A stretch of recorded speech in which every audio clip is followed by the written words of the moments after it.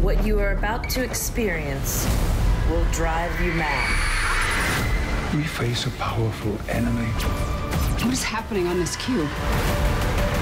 Something far worse is coming. Do you believe in hell?